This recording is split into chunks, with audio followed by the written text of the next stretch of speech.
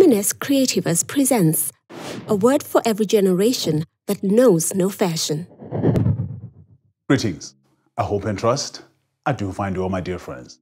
We have one more mountain experience, and we are coming from the old time religion where we on Mount Carmel for this morning and the rest of this week. I've decided that we reflect on the book of First Kings. We are still in chapter 18. We want to look at verse 31 and work our way all the way to verse number 39. This is what the Holman provides for. At 31, Elijah took 12 stones, according to the number of the tribes of the sons of Jacob, to whom the word of the Lord had come, saying, Israel will be your name.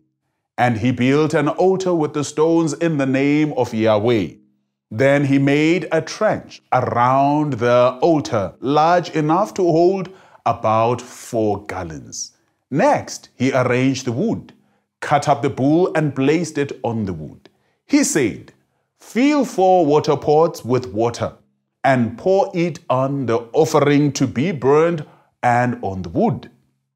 Then he said, A second time, and they did it a second time.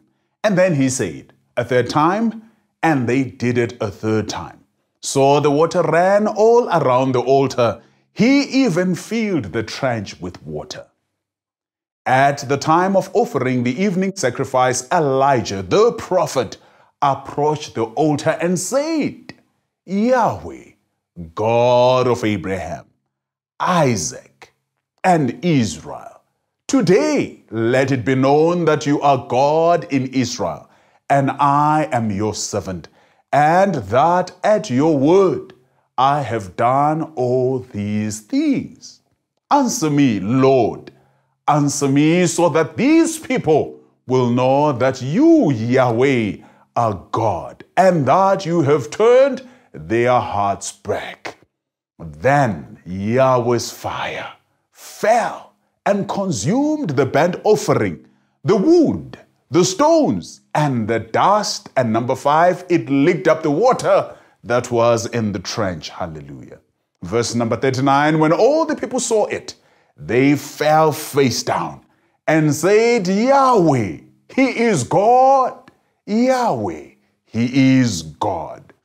May we call upon the God who answers with fire this morning. Let us pray. Kind and gracious Father in the heavens above, the week is ahead of us, and dear Lord, we want to learn from Thee in your word. May you speak to us this morning and equip us for service in the spaces where we operate. This is our prayer of faith. In Jesus' name we pray and we ask, draw nigh unto us. Amen.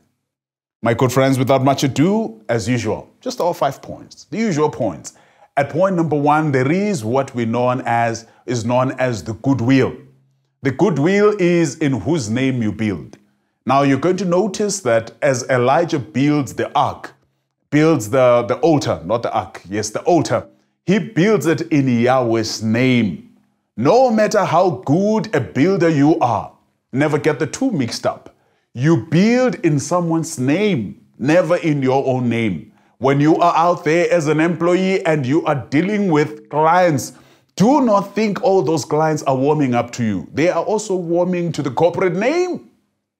So when you take off and think, let me just go off, all these people are coming with me, that's when you're going to be shocked. When you realize it is the goodwill of the name. And Elijah goes out to build an ark with his own hands. As he does so, he does it in Yahweh's name. And he even prays so that it may be known that all that I have done, I have done at your word. May I challenge you as you go into the workspace, do so in the name of the one who is superior to you. And point number two of a delegation of tasks is an irresponsibility on the part of the leader. Why do I say so? Notice when Elijah is building this particular altar, he cut the bull, he made the trench himself. And then he calls upon the people to pour water. Four things are being done here building the ark, preparing or dressing the bull, and digging up the trench, and pouring water. Of these four tasks, Elijah does three of them. Three of them are done by Elijah. And the fourth one is the one that is done by the people. Now we have a scenario where you're going to find that a leader will only do one out of three. They do 25% of the task, but Elijah does 75% of the task. He leads from the front. He leads by example. When you have a leader who just delegate even 100% of the work, then you'll know, you will know you have a leader who leads from behind, a leader who does not take the front seat, who does not take the leading role. Such a leader is a leader who causes despondency on the followers. As you go into the workspace, may I challenge you, as I encourage you, lead from the front. Do something. Do, do not just call for things and never do anything. People are waiting for you to do things. Remember, remember, they are already suffering from indecision whether to follow you or not to follow you. If you are to win their hearts and turn them back, you need to lead from the front, reposition yourself. A point number three do it the hard way. Do not just seek the easy way out. Someone said, easy come, easy go. When you do it the hard way, it lasts. When you do it the hard way, it is believable. When you do it the hard way, it has a wow effect, a lasting effect. What, what am I saying? Elijah says, Now, what I need you to do is to come up with four gallons. Four gallons of water. What does it mean to have four gallons of water? Basically, a gallon's about five liters. By four, that will give us five times four, 20 liters. So he says, pour 20 liters. When they poured 20 liters, said, for the second time, 20 times two, 40. And he says, for the third time, 20 times 3, 60. So 60 liters were poured on the offering. 60 liters were poured on the wood. 60 liters of water were poured even into the trench. And when Elijah is done, he then goes on to carry out the sacrifice. Why am I saying you need to do it the hard way? So as to prove, first of all, that you are doing a supernatural thing God is with us. Why do you have to do it the hard way? So that you can set yourself apart. The prophets of Baal that we have looked at in the last two or three installments, you will notice they never poured water. But Elijah sets himself apart. So even in the competition that you're in, this is basically competition in business sense, in business language. It's a competition. If you are going to be the supplier of choice, you ought to do some things different. You need to go the extra mile. If you're going to be a deliverer of choice, you need to go that extra mile. Pour water. Prove that you're not rigging. Prove that you know what you're doing. Prove that you are having all this thing under control. And at point number four, Elijah goes on to say, I need you, Lord, to answer this prayer. And why should this prayer be answered? The reasons are very simple. At the time of offering the evening sacrifice, Elijah, Elijah the prophet, approached the altar and said, Yahweh, God of Abraham, Isaac, and Israel, today let it be known that you are God in Israel. The first part of this prayer says, Let it be known you are God in Israel.